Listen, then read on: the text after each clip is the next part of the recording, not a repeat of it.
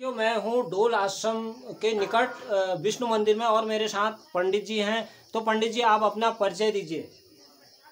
मैं रमेश चंद्र जोशी। उत्तिष्ठम गोविंदम, उत्तिष्ठम गरुड़ध्वजम उत्तिष्ठम कमलाकांतम तिल्लोक भगवत, रामायण, शिवार्चना अज्ञात तिथि श्राद्ध जो होते हैं, देव स्नान जो होता है तो वो सब भक्तों के द्वारा या कोई सरकारी जो निधि है उनके द्वारा, कमेटी के द्वारा यहाँ पर धर्मशाले बने हुए हैं, जिनमें लोग अपने पूजा पाठ को आराम से कर लेते हैं और गंगा स्नान करते हैं।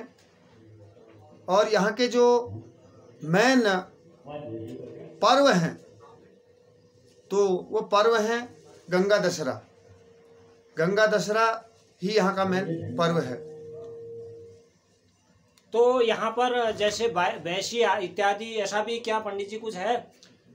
जो बैसी नहीं है, बाईस दिवसीय जो जागर होता है, जैसे भागवत चला है, पुराने समय में इतनी सुविधाएँ नहीं थी, आर्थिक स्थिति इतनी अच्छी नहीं थी तो पहाड़ी भाषा में जो शिव शंकर भोलेनाथ के डमरू से जो स्वर निकले, हे हा रे रा, और मृगछाला लगे हुए जो शिव डमरू हैं उनको एक माध्यम बनाते हुए संगीत की धुन में यही शिव पुराण, रामायण की कृष्ण लीला और महाभारत की गाथा का वर्णन होता है।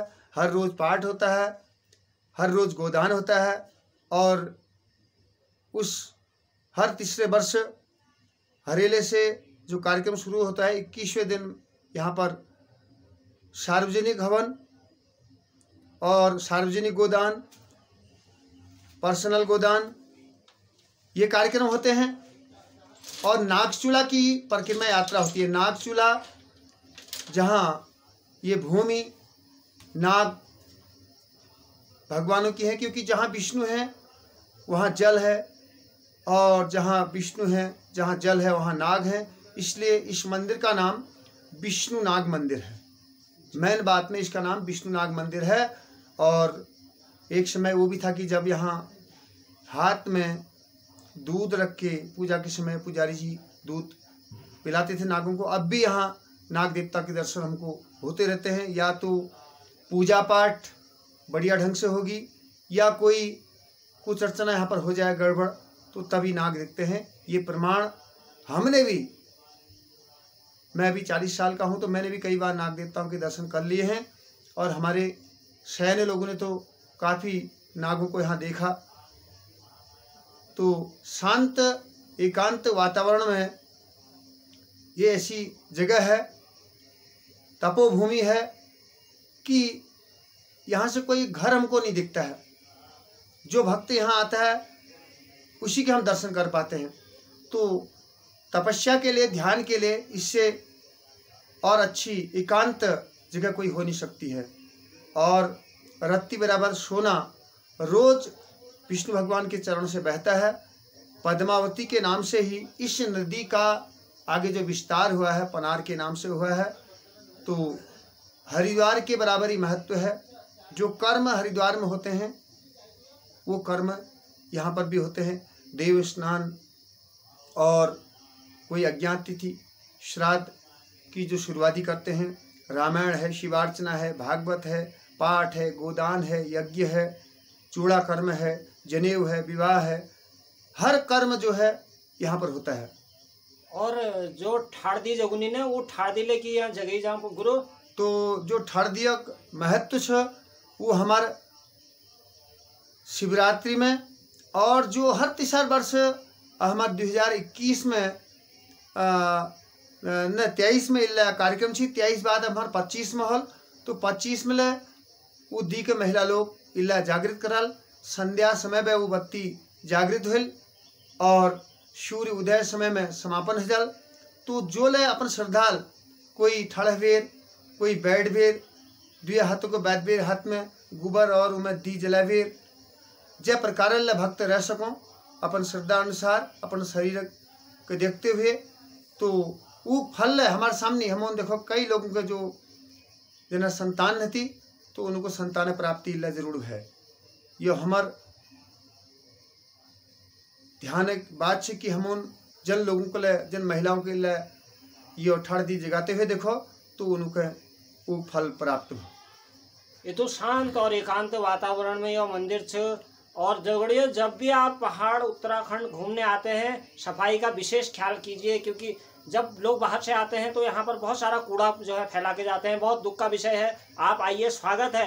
लेकिन सफ़ाई का जो है विशेष ध्यान आप लोग रखेंगे ये मैं उम्मीद करता हूँ। अच्छा गुरु जी जो ये छोटे छोटे यहाँ पर बहुत सारे मंदिर हैं और गुफा भी यहाँ पर है तो इन मंदिरों को कैसे बने? इनके लिए जो आर्थिक मदद होती है वो कहाँ से मिलती है? क्या कमेटी हमारे जो पुराने पैतृक हैं यहाँ पर विष्णु और शिव जी ये दो ही मंदिर हैं। और जो गणेश जी का है, हनुमान जी का है, मैया की गुफा है और जो हमारे कृष्ण भगवान का है, शिव जी का है और जो भी ये बने हैं, ये यहाँ पर कमेटी और प्रेमदास बाबा जी यहाँ पर रहे। तो और उन्होंने एक माध्यम बन के काम किया और जनता, जनार्दन ने, ग्रामवासी, क्षेत्रवासी दूर दराज से सब लोगों ने उसमें अपना अपना तन मन धन से योगदान दिया और अभी कमेटी के कोर्स में भी जो आय होती है जनेऊ की, शादी की तो वो जमा रहती है। कोई भी कार्यक्रम करना है, सफ़ाई करनी है या मंदिर के लिए लकड़ी बनानी है, जो भी व्यवस्था के लिए वो पैसा भी जो है कमेटी देती है। जैसे दो नवरात्रि होती हैं, उनमें जो पूजा पाठ होती है, जो भोग लगता है, जो तेल लगता है जो भी चीज़ होता है उसके लिए कमेटी यहाँ पर देती है और हर मंदिर में धूप बत्ती करने के लिए हमारे शेखर चंद भट्ट जी को यहाँ पर ग्रामवासियों ने, कमेटी ने, सभी लोगों ने मिलकर नियुक्त किया है। तो उनको आय व्यय रसीद काटने का काम करते हैं और इन मंदिरों की साफ़ सफ़ाई करते हैं। बहुत तो नहीं हो सकता है क्योंकि एक व्यक्ति की कूड़ा करकट साफ़ करना और दिन भर बंदर भी यहाँ हैं। तो आधा समय तो वो उनके पीछे व्यर्थ हो जाता है। तो वो भी लगे रहते हैं और वो घर जाते हैं तो हम लगे रहते हैं। दो वर्ष से मेरा ये लक्ष्य है कि हर रोज़ यहाँ बत्ती जले भट जी रहें। तो उसके बाद मैं मैं नहीं तो मेरे बच्चे, नहीं तो कमेटी वाले आके यहाँ पर हर रोज बत्ती हर मंदिर में जागृत रहेगी।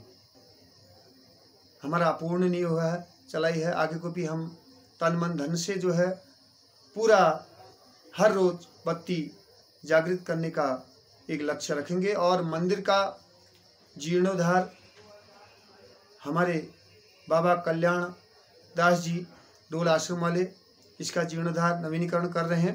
तो जो भी धन लग रहा है पूरा उन्होंने देने को अपना वचन दिया है, जिसमें उनका कार्य चालू है। तो धन्यवाद है हम धन्यवाद दोनों कल्याण दास जी का जो यह क्षेत्र क्षण और दो आश्रम में तो बढ़िया उन्होंने जो बढ़ रहा और अब यह मंदिर को उन्होंने गोद दे रहा तो हम कृतार्थ छो यह लोग जो अपन मैं माटी लीजिए काम करनी। तो गुरु जी, आखिर में आप एक संदेश और या कशी आई जा सकूँ वो मार्ग भी बताइए और एक संदेश भी लोगों को क्या कहना चाहेंगे गुरु जी? मैं तो ये कहना चाहूँगा कि जिस प्रकार से ब्रह्मा सृष्टि के रस्ता विष्णु इस जगत के परमपिता परमेश्वर जलचर थलचर नवचर हर जीव, जंतु, यक्ष, नाग, किन्नर, पशु, प्राणी वंशापति हर किसी के परमपिता परमेश्वर हैं तो उनका एक प्राकृतिक मंदिर उत्तराखंड देवभूमि की, उत्तराखंड प्रांत के अल्मोड़ा जनपद के लमगड़ा ब्लॉक के इस डोल ग्राम के शीर्ष में है। तो सबसे बड़ी चीज़ तो यह है कि अहो भाग्यशाली हम हैं कि हमारे जन्म ऐसी भूमि हुआ है जहाँ विष्णु भगवान पालनकर्ता, परमपिता जगदीश्वर यहाँ विराजमान हैं। तो सभी भक्तों को, समस्त भारतवर्ष के लोगों को, देवभूमि उत्तराखंड के लोगों को जैसे जैसे जानकारी मिलते रहेगी तो लोग आ भी रहे हैं। बहुत प्रांतों से, अन्य राज्यों से भी लोग यहाँ पर आ रहे हैं। पूछ के आश्रम में आते हैं तो बाबा जी आश्रम से यहाँ भेजते हैं उनको दर्शन करने, और यहाँ आके उनको आनंद की अनुभूति होती है। क्योंकि ये एकांत जगह में जो मंदिर है, उसकी एक अलग ही महिमा है।